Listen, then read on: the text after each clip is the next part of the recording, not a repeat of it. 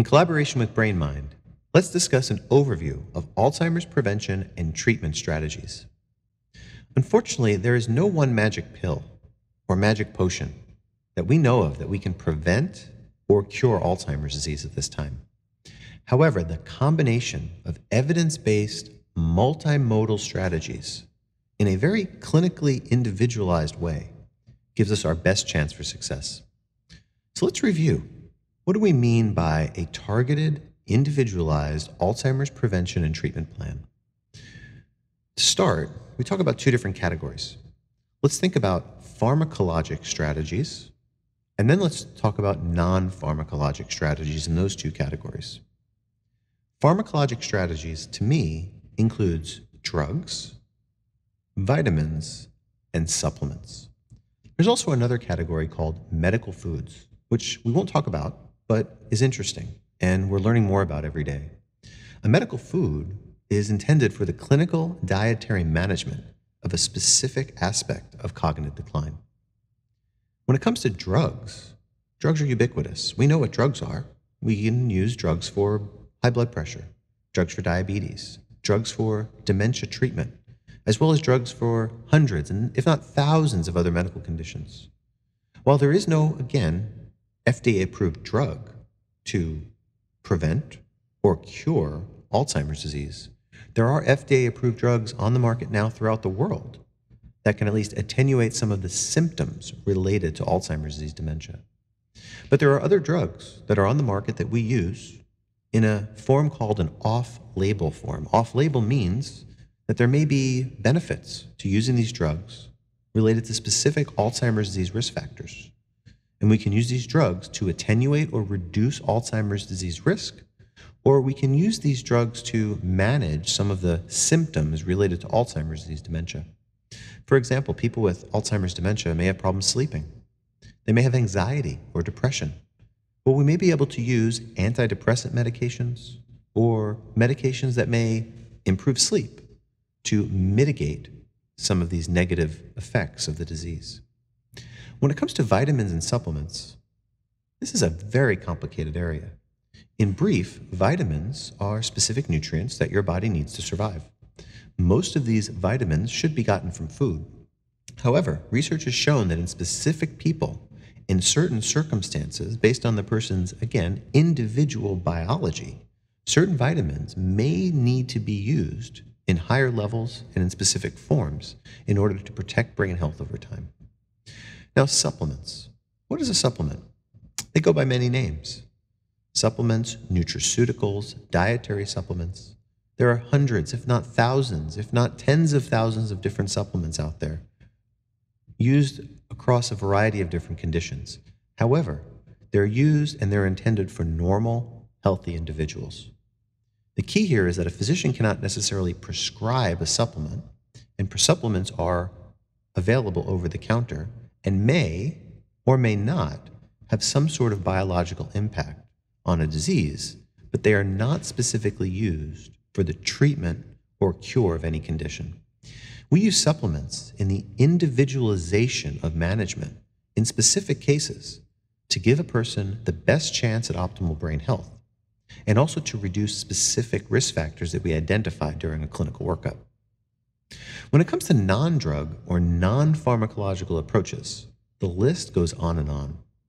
Let's talk about physical exercise and the differences between physical inactivity or a sedentary lifestyle, physical activity, meaning someone that moves around enough, but the final, most important phase of physical activity is physical exercise, and understanding how we can use physical activity and physical exercise specifically and the different types in order to promote brain health, slow brain aging, and even reverse some of the potential negative effects of Alzheimer's disease dementia is something that we can't talk enough about and we'll talk more about soon.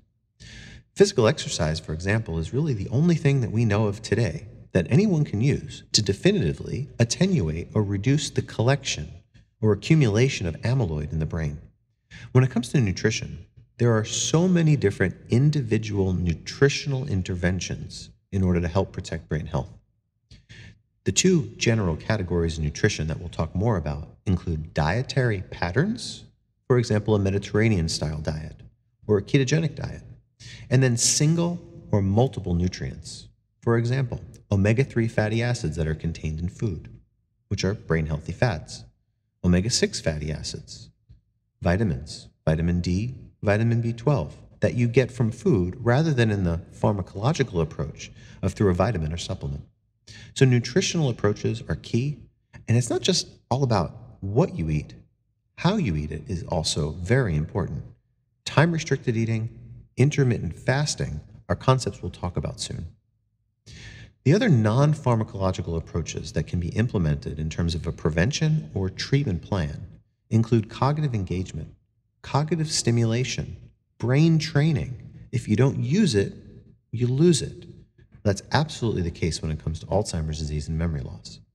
Further, keeping the brain engaged, learning something new, a musical instrument, learning a new language, these are things that build up backup pathways. These are the types of interventions that we can capitalize on when we're using a multimodal individualized cognitive health plan. Further, music activities, whether it's a specific music therapy intervention with a board certified music therapist for a person with dementia due to Alzheimer's, or whether it's learning how to play a musical instrument in effort to try to protect the brain and build up a cognitive backup system. These are all different areas that music can impact the brain and be implicated for both Alzheimer's prevention and treatment. Stress reduction, imperative. Stress fast forwards brain aging. Stress leads to inflammation. It leads to increased cortisol levels, which is our stress hormone. There are a variety of different ways to reduce stress that have been studied for cognitive and brain health, from transcendental meditation to mindfulness based stress reduction. We'll talk about all these in more detail.